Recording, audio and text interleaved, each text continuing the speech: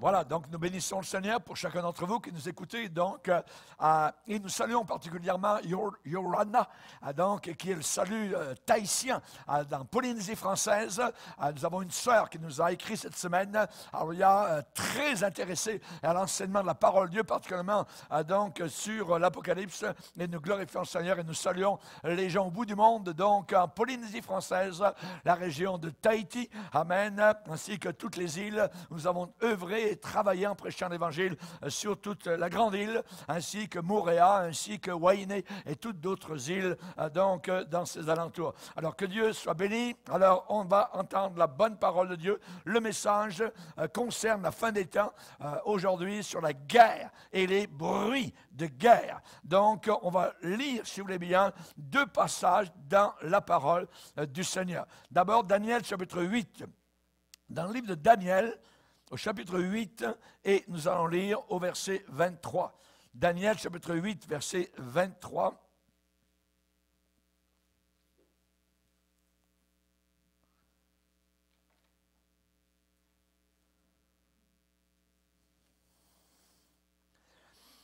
Il est dit, à la fin de leur domination, lorsque les pécheurs seront consumés, il s'élèvera un roi impudent et artificieux, ça veut dire rusé. Sa puissance accroîtra, mais non par sa propre force. Ça sera celle du diable. Il fera d'incroyables ravages. Il réussira dans ses entreprises. Il détruira les puissants et le peuple des saints à cause de sa prospérité, du succès de ses ruses. Il aura de l'arrogance dans le cœur et il fera périr beaucoup d'hommes qui vivaient paisiblement. Il s'élèvera contre le chef des chefs, mais il sera brisé sans l'effort d'aucune main. Nous allons lire un autre passage maintenant dans Marc chapitre 13. Dans le Nouveau Testament, Marc chapitre 13. Marc chapitre 13. Et nous allons lire à partir du verset 7. Marc 13, verset 7. Quand vous entendrez parler de guerre et de bruit de guerre, notez l'expression guerre et bruit de guerre, ne soyez pas troublés, car il faut que ces choses arrivent. Mais ce ne sera pas encore la fin. Une nation s'élèvera contre une nation et un royaume contre un royaume. Il y aura des tremblements de terre en divers lieux, des lieux variés, différents. Il y aura des famines. Ce ne sera que le commencement des douleurs. Amen. Seigneur, nous te demandons de bénir ta sainte parole alors que nous voulons prendre une loupe pour bien observer, bien lire, bien comprendre ce que tu veux nous enseigner. Nous te prions que l'Esprit de Dieu donne vie à cette parole puissante qui ne passera pas d'un trait de lettre ni d'un point de i.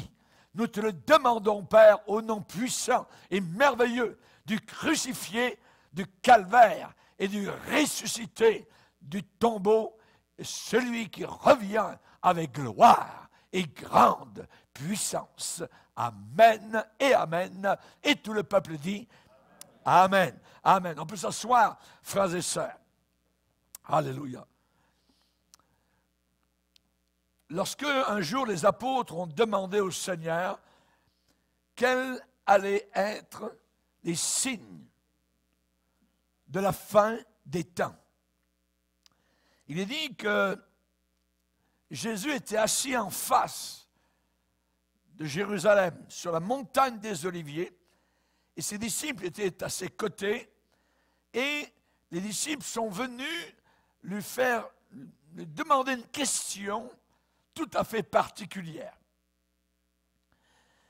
Dis-nous quand cela arrivera-t-il et quel sera le signe, le signe de ton avènement et de la fin du monde.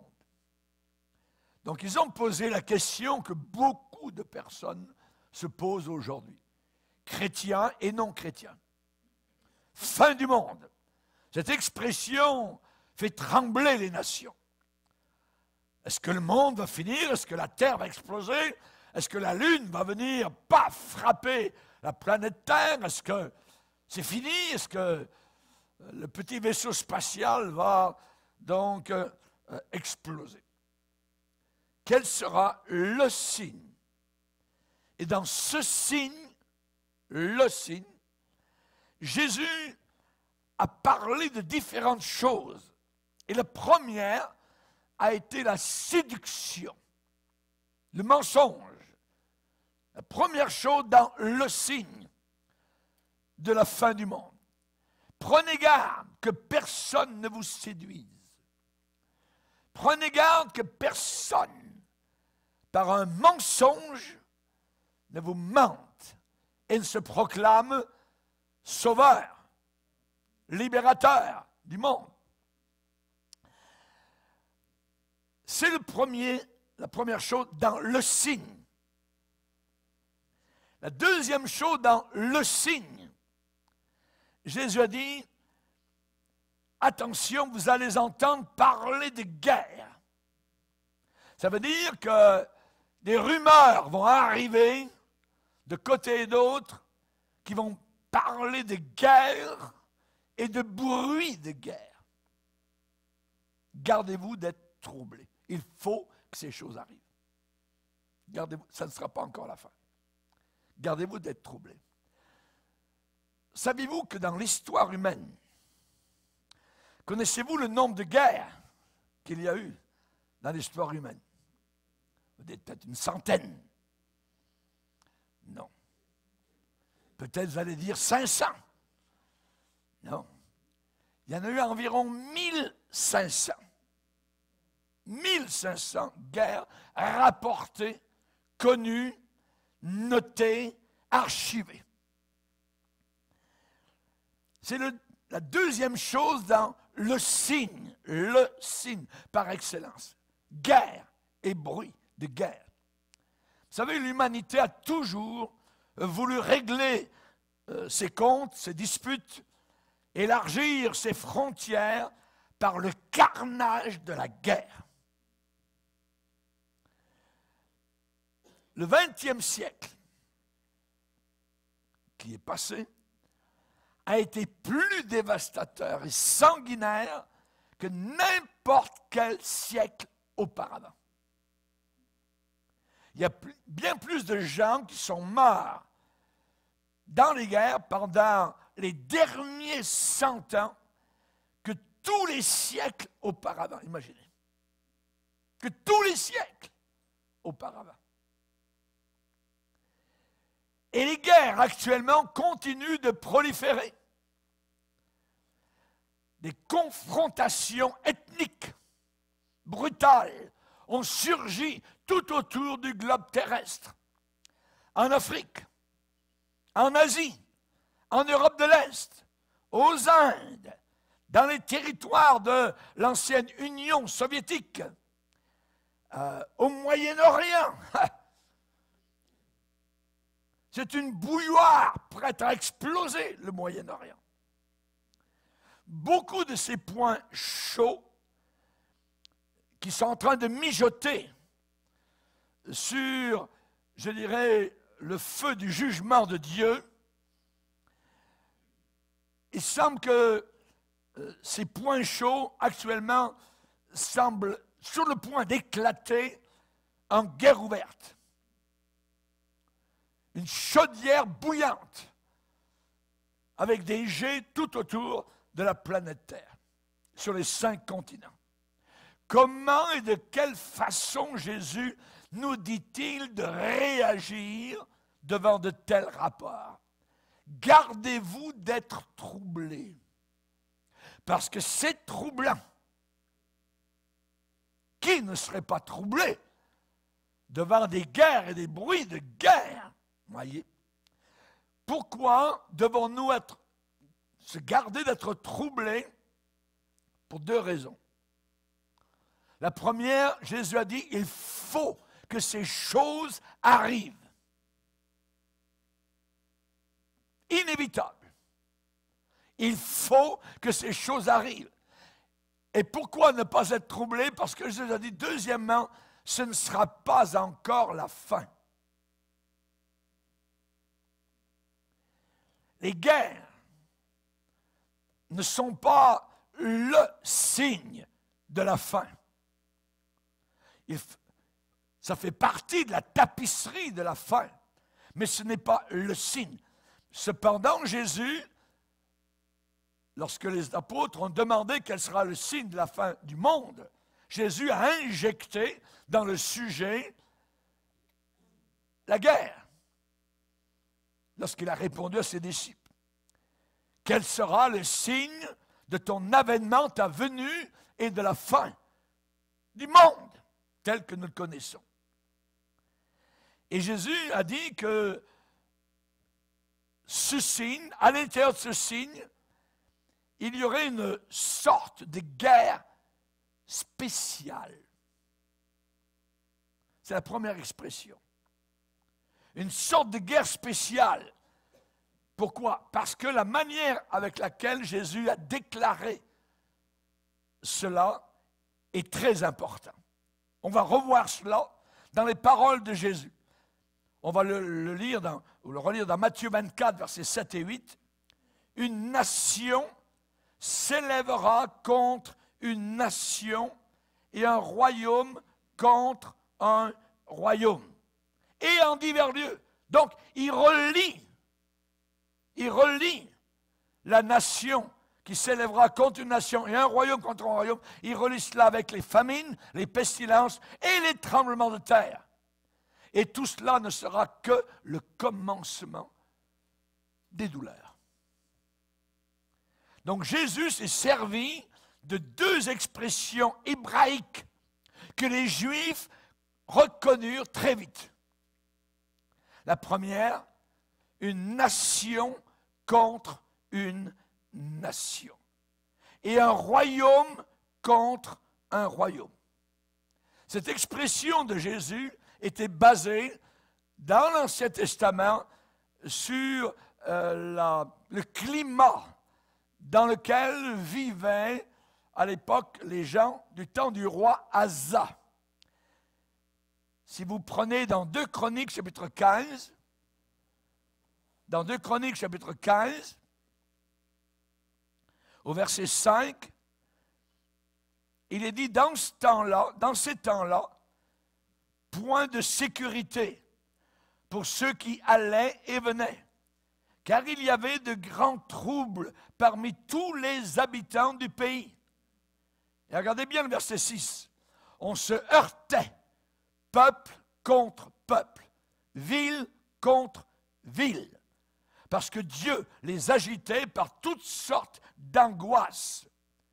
C'est ce climat, donc, que les disciples ont compris quand Jésus a parlé. Une nation s'élèvera contre une nation et un royaume contre un royaume. On se heurtait. Peuple contre peuple, ville contre ville. Une autre, euh, référence où Jésus parle, euh, la Bible parle de ce que Jésus voulait dire, c'est dans Ésaïe 19 où le Seigneur va dire, au verset 1 et 2, J'armerai l'Égyptien contre l'Égyptien. On se battra, frère contre frère, ami contre ami, ville contre ville, royaume contre royaume. Les disciples ont compris ce que je voulais dire. Nation contre nation, royaume contre royaume. Jésus parlait d'une guerre à la fin des temps, commencé par deux nations. Une nation contre une autre nation. Et chacun de ces deux pays rapidement serait rejoint par des royaumes, des royaumes environnants, sorte de coalition, jusqu'à ce que toutes les nations impliqués soient inclus. Une nation contre une nation qui commence une sorte de guerre eschatologique. Ensuite, ces deux nations, rejointes par d'autres royaumes, hein, et ça fait une confrontation. Dans Matthieu 24, Jésus avait le monde entier en vue. Le monde entier. Ça veut dire quoi? Ça veut dire que Jésus a dit d'une certaine manière, quand vous verrez une guerre commencer par deux nations particulières, deux nations indépendantes, et ces nations, ces deux nations rejointes par les royaumes du monde, et que cela sera suivi par des famines, par des pestilences, contagions et par beaucoup de tremblements de terre, en même temps, vous aurez le signe. Exactement ce qui arriva en juin 1914, quand l'archiduc d'Autriche, le prince Francis Ferdinand, a été tiré, tué par un Serbe zélote dans cette même région du monde où aujourd'hui les troupes de l'ONU sont présentes pour empêcher que les Serbes et les Croates euh, donc euh, ne s'entretuent. Un mois plus tard, en juillet 1914, l'Autriche a déclaré la guerre à la Serbie suivi un peu plus tard par d'autres royaumes du monde, jusqu'à ce qu'officiellement, sauf sept pays, se joignent au conflit. Et même ces sept pays, qui étaient supposément neutres, ont envoyé euh, plus tard des mercenaires à la guerre. Et cela a été appelé par les historiens la Grande Guerre.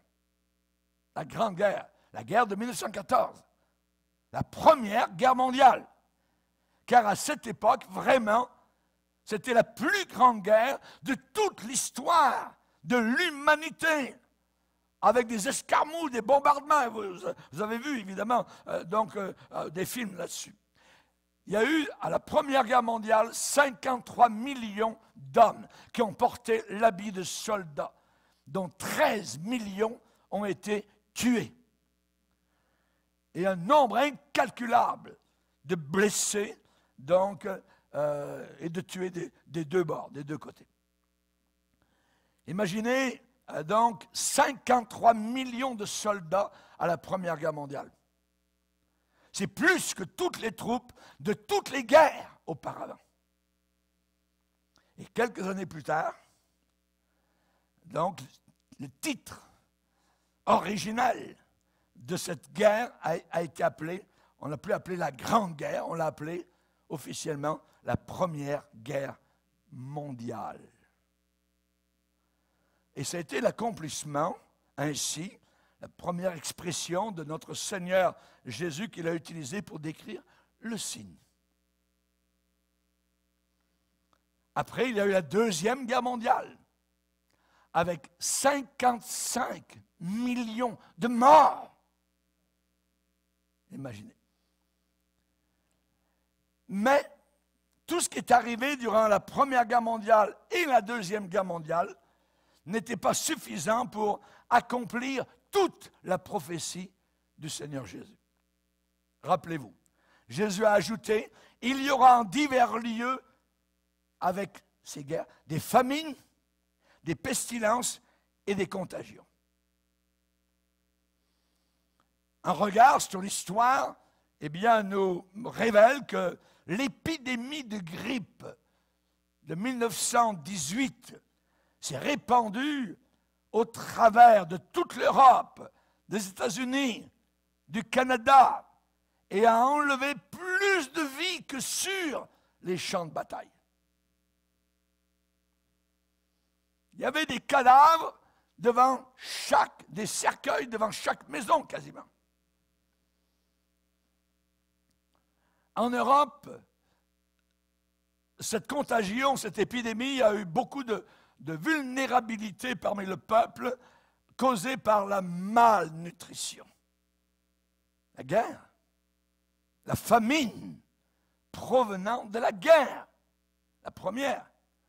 Et à cause de ce manque de nourriture dû à la Première Guerre mondiale, les fermiers, aux États-Unis particulièrement, ont été exemptés pendant la Deuxième Guerre mondiale du service militaire. On s'est rendu compte que les champs, c'est très important. Si vous envoyez les fermiers à la guerre, les ronces poussent et euh, les gens meurent de faim. Et ce signe que Jésus a donné aux disciples, eh bien, c'était une sorte de guerre particulière avec des famines et avec le fléau de la peste, des pestilences. Cela s'est déjà accompli au XXe siècle.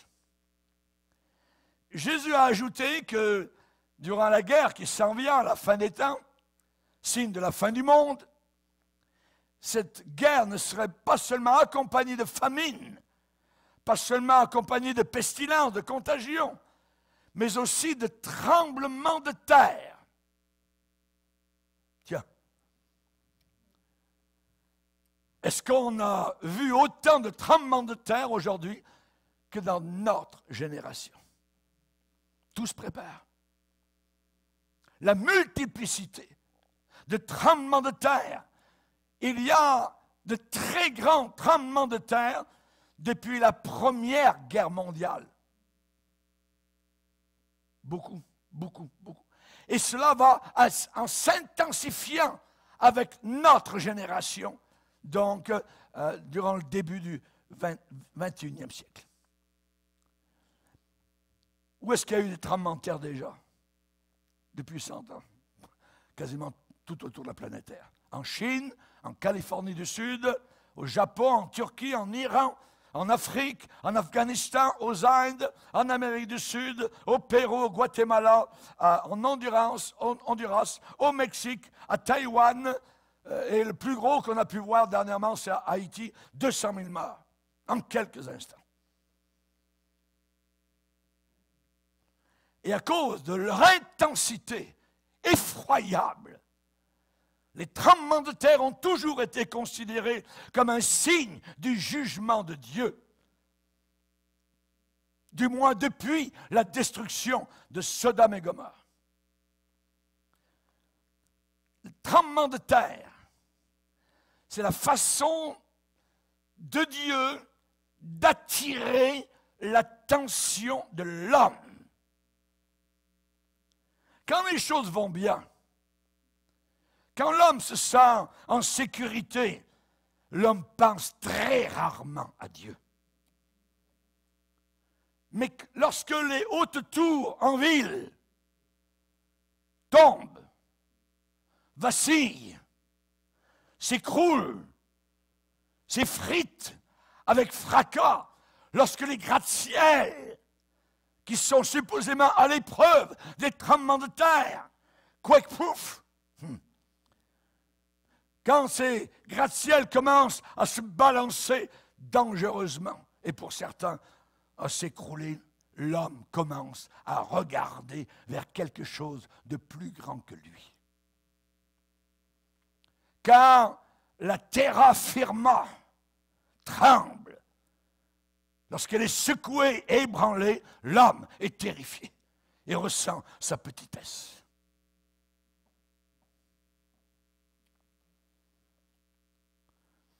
Un prédicateur se trouvait il y a quelques années au Rotary Club en Californie, dans la région de San Diego. Il y avait 700 personnes pour luncher. Le prédicateur avait été invité. Et la plupart de ces 700 personnes étaient vraiment ennuyées. C'était un certain Noël, il y a quelques années, et alors que le prédicateur présentait l'Évangile, les gens pourraient dire en bon français étaient rasés. Ils en avaient ras-le-bol. Quand soudain, tout à coup, il y eut un tremblement de terre pendant que le prédicateur annonçait l'Évangile. Les assiettes, les verres, la coutellerie ont été secoués, ont commencé à s'entrechoquer, l'eau dans les verres a commencé à bouger, les lustres ont commencé à se balancer de côté et d'autre, et même les lumières ont commencé à faiblir pendant un moment, et soudain le prédicateur avait l'attention de tout le monde.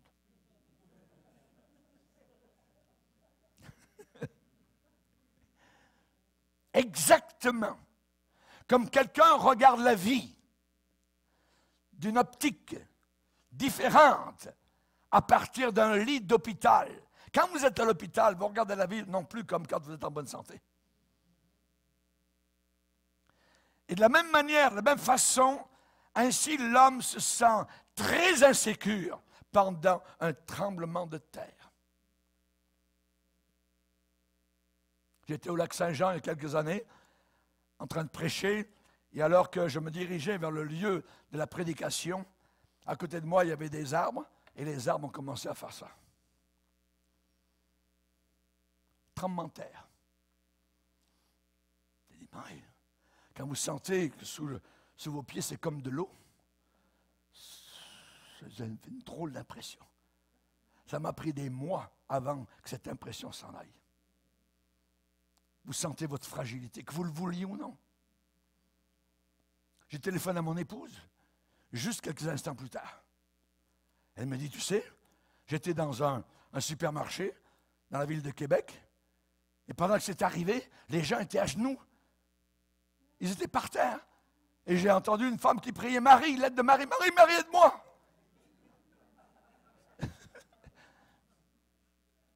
L'homme est très insécure, insécure dans ces moments-là. Il ressent. Et moi, ce que j'ai ressenti, c'est la puissance de Dieu. À la fin de la réunion, je devais partir dans un autre lieu jusqu'à Chibougamau, au nord euh, du Québec. Et alors que euh, j'étais sur le point de me coucher euh, le soir, je n'ai pas pu m'endormir. Je louais Dieu comme j'ai jamais loué Dieu avec ce sentiment de sa puissance.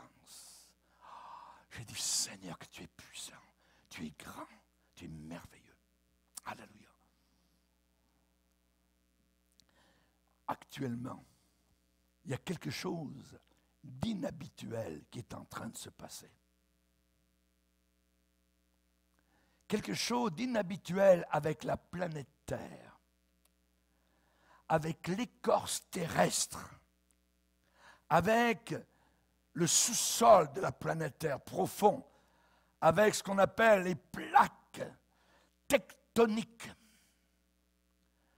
Un sismologue du centre de recherche Scripps en Californie a déclaré c'est presque actuellement comme si les plaques terrestres sont en train de tournoyer, de changer de place, de bouger en anticipation du plus grand tremblement de terre au monde. C'est ce que lui a dit. Vous savez, la tectonophysique, c'est la science qui applique les principes de la physique à l'étude fondamentale des phénomènes de la structure de l'écorce terrestre. Et tout cela est en train d'être bouleversé. Dieu a dit à la fin des temps, j'ébranlerai tout. Tout sera ébranlé. Même les puissants des cieux Imaginez quand la lune ou le soleil commencent à, ne plus être à l'endroit où ils doivent être ou à ne plus éclairer comme ils doivent l'être, il y a quelque chose qui se passe. L'homme ressent sa fragilité. Juste dans une éclipse, quand vous voyez l'ombre de notre vaisseau spatial passer juste devant la lune, vous dites, je suis là-dessus. C'est l'ombre de moi là-haut sur la lune.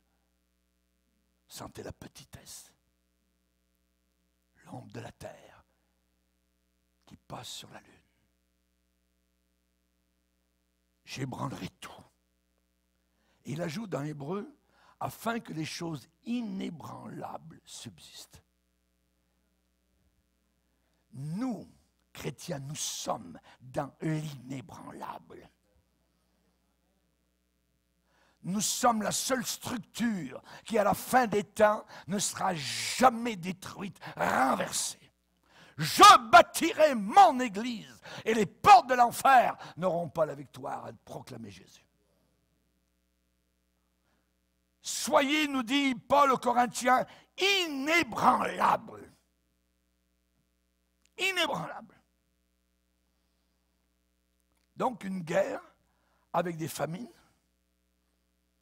avec des épidémies, avec des tremblements de terre. Et dans l'Apocalypse, Jean a averti d'avance que les pires tremblements de terre à frapper la planète arriveront pendant la grande tribulation. Si vous voulez la description, je vais vous le lire. Apocalypse 6. Apocalypse chapitre 6.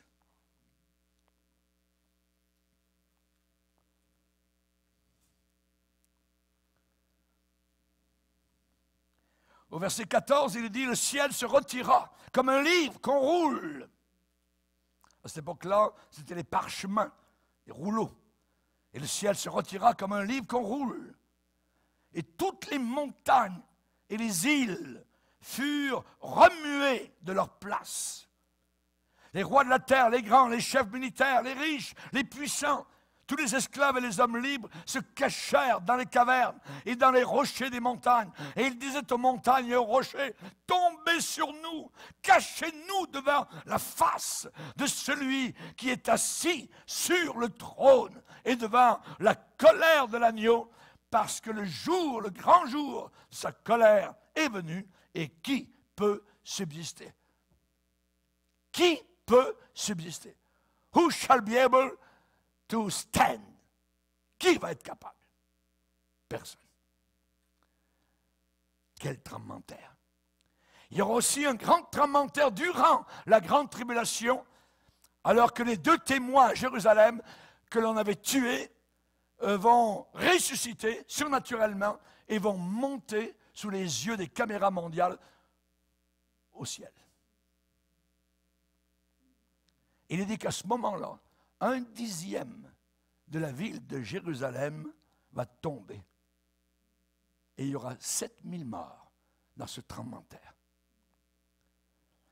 Aussi le plus grand que la terre ait jamais connu, le tremblement de terre des tremblements de terre, on le lit dans l'Apocalypse chapitre 16. Chapitre 16,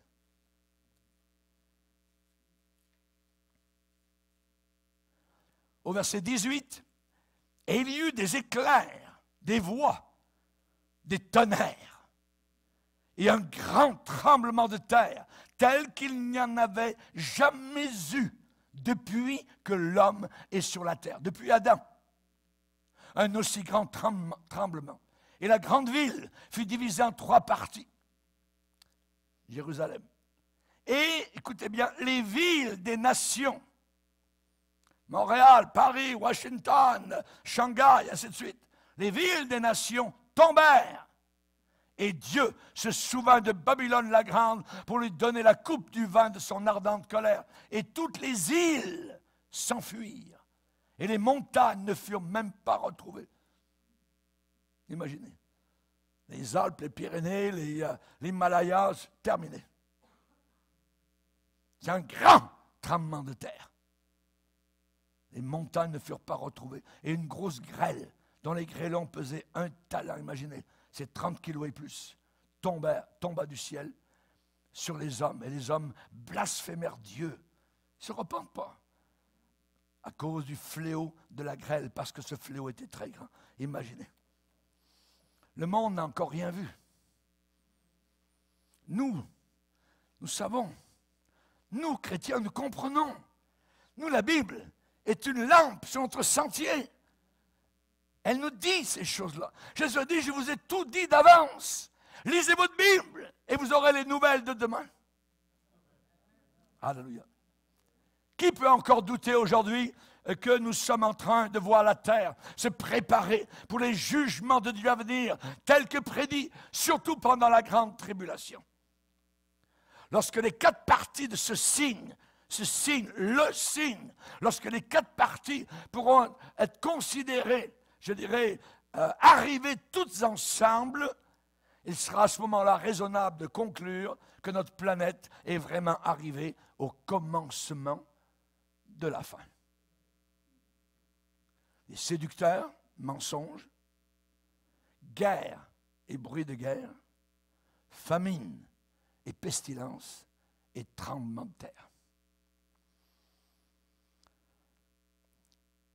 La Bible nous donne aussi une autre expression hébraïque pour comprendre. Jésus a dit, cela ne sera que le commencement des douleurs. Alors vous dites, oui, c'est à ce moment-là que les, les, épreuves, euh, les douleurs vont, vont commencer. Ce n'est pas ça que ça veut dire. Je vais vous l'expliquer. Nous ne rejetons pas la Première Guerre mondiale et ces catastrophes qui ont suivi comme étant l'accomplissement du signe. La Grande Guerre, la Première Guerre mondiale, n'a pas amené le temps de la fin. C'est seulement 22 ans plus tard que le monde entier de nouveau a été plongé dans la deuxième guerre mondiale. Rebelote. On recommence. Avec 55 millions de morts. Quand Jésus a parlé de ce signe, avec le mensonge, les ruses, les séductions, les guerres, les bruits de guerre, les famines, les pestilences, les tremblements de terre. Jésus a dit, tout cela, c'est-à-dire les quatre parties d'un seul signe, tout cela ne sera que le commencement des douleurs.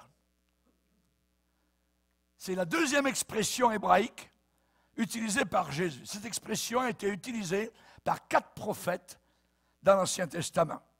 Ésaïe a parlé de cela. Et vous allez vite comprendre. Ésaïe 66, avant d'éprouver les douleurs, elle a enfanté. Avant que les souffrances lui arrivent, elle a donné naissance à un fils. Jérémie a dit, comme ceux d'une femme en travail, des cris d'angoisse, comme dans un premier enfantement. Ainsi est la voix de la fille de Sion. Osez le prophète a dit au chapitre 13, son péché est mis en réserve. Les douleurs, les douleurs de celles qui enfantent viendront pour lui. Michée chapitre 4. Pourquoi pousses-tu des cris comme une femme qui accouche Fille de Sion, souffre et gémit comme une femme qui accouche. Quand Jésus a parlé, ce ne sera que le commencement des douleurs. Jésus a parlé de l'accouchement d'une femme. Dans Genèse chapitre 3, c'est la première fois que Ève a entendu Tu accoucheras avec douleur. Tu accoucheras avec douleur. Maman Ève, après son péché et l'expulsion, du Jardin d'Éden a eu ses premières douleurs. Cela ne voulait pas dire que son bébé allait naître tout de suite. Quand elle a eu le commencement des premières douleurs, suivez-moi, elle a pu avoir 40, 50 douleurs, parfois à des jours d'intervalle avant même de donner naissance à son bébé. Jésus a dit la femme, quand elle enfante, elle éprouve de la tristesse parce que son heure est venue. Mais quand elle a donné le jour à l'enfant, elle ne se souvient plus de sa souffrance. Dans la plupart des cas, ces douleurs, douleurs d'enfantement, suivent une sorte de pattern, de, modèle, euh, de règles identiques. La première douleur, quand elle arrive à la femme, l'avertit que ses neuf mois d'attente sont presque achevés. Elle ne s'attend pas à ce que le bébé naisse immédiatement. Elle s'attend à quoi? Elle s'attend à une autre douleur d'enfantement. Et quand ça arrive, elle s'attend encore à une autre douleur. Il y en a plusieurs. Et quand finalement les douleurs deviennent plus intenses et régulières, en trois minutes ou toutes les dix minutes, je ne sais pas, cinq, toutes les cinq minutes, voyez, alors à ce moment-là, elle et son mari ne pensent plus à rien, sauf au bébé. Prendre la voiture, direction l'hôpital.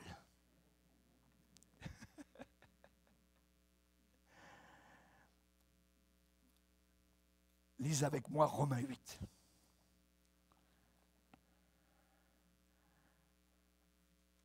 Romains 8.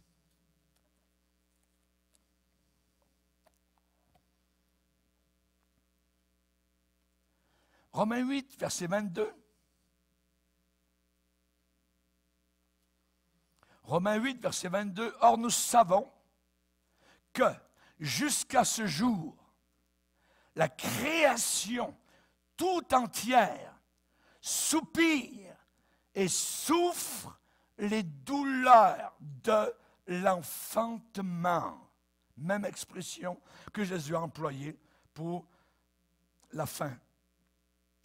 Et ce n'est pas elle, la création, seulement, qui souffre les douleurs de l'enfantement, mais nous aussi, nous les chrétiens, qui avons les prémices de l'Esprit, nous aussi nous soupirons ou encore nous souffrons en nous-mêmes en attendant la naissance, en attendant le royaume de Dieu, l'adoption, la rédemption de notre corps. Car c'est en espérance que nous sommes sauvés. Or, l'espérance qu'on voit, si on la voit, elle n'est plus espérance. Mais si nous espérons ce que nous ne voyons pas, nous l'attendons avec persévérance. Alléluia. Gloire à Dieu. Gloire à Dieu. La première guerre mondiale et la deuxième guerre mondiale, ce ne sont pas des signes pour s'attendre immédiatement au retour de Jésus ou à la fin de cet âge, mais un signal qui nous indique que nous attendent encore des douleurs de naissance. Des douleurs de naissance encore et plus nombreuses et plus régulières et plus rapides.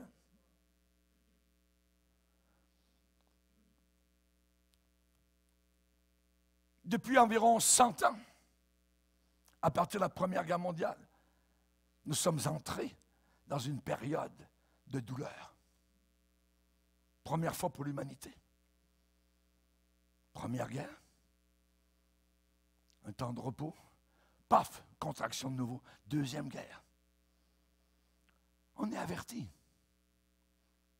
Noé a averti, pas 100 ans, 120 ans à l'avance, de la catastrophe mondiale qui allait arriver. Beaucoup de douleurs sont venues de ces deux guerres mondiales, jusqu'à ce qu'aujourd'hui, les douleurs de l'enfantement sont très intenses, plus rapprochées, bien plus. Et peut-être que ces douleurs d'enfantement sont dans leur dernière phase. Moi, l'Éternel, je hâterai ces choses en leur temps. Ésaïe 60, verset 22. Si c'est le cas, s'il en est ainsi, la fin peut être, je dirais, en train de s'approcher très, très rapidement de nous.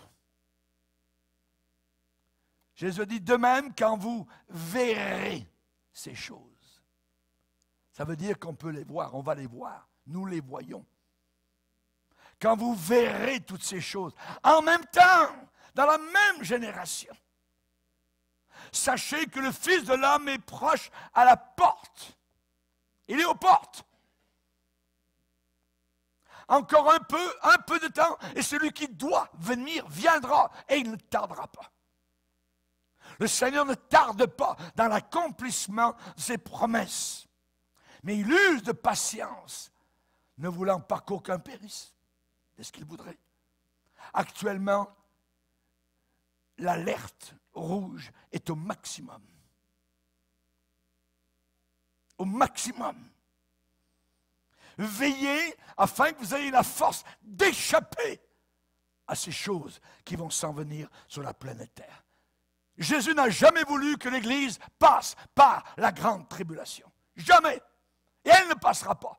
Elle sera aéroportée, enlevée dans les airs par la puissance glorieuse du Saint-Esprit. Soudainement, puissamment, aux quatre coins de la planète Terre, le Seigneur connaît vraiment ceux et celles qui lui appartiennent. Prenez garde. Dans l'armée, il y a un ordre. Garde à vous. Dans cet ordre, Jésus l'a donné. Le même ordre. Ça veut dire prends garde à toi. Garde à vous. Faites attention à vous. On va lire un dernier passage. Marc 13.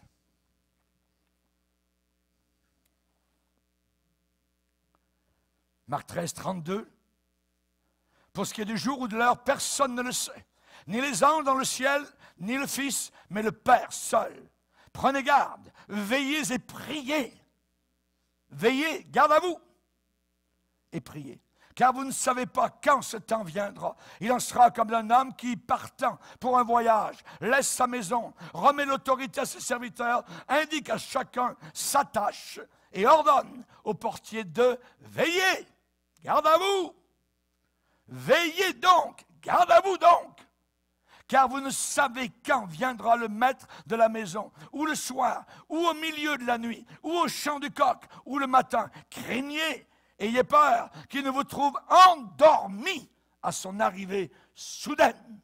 Ce que je vous dis, je le dis à tous, garde à vous, veillez. Levons-nous ensemble devant le Seigneur. Alléluia. Levons-nous devant le Seigneur. Alléluia. Seigneur, nous voulons t'adorer, nous voulons te bénir. Seigneur, quelle joie, quel frémissement intérieur. Tu nous as donné un ressort dans nos genoux, une joie dans notre âme, Seigneur, des cordes vocales pour te bénir, te louer, Seigneur, et t'adorer. Merci que nos yeux soient pétillants de ta joie, de ta gloire, de ta puissance, Seigneur, car tu nous as sauvés gratuitement à la croix du calvaire. À toi et à toi seul soit toute la gloire. Aide-nous, Seigneur, à vivre dans un état d'alerte constamment jusqu'à ce que tu viennes nous chercher. Dans le nom puissant et merveilleux et glorieux de Jésus-Christ. Amen et Amen. Et tout le peuple dit Amen. Amen. Gloire à Dieu. On va louer le Seigneur.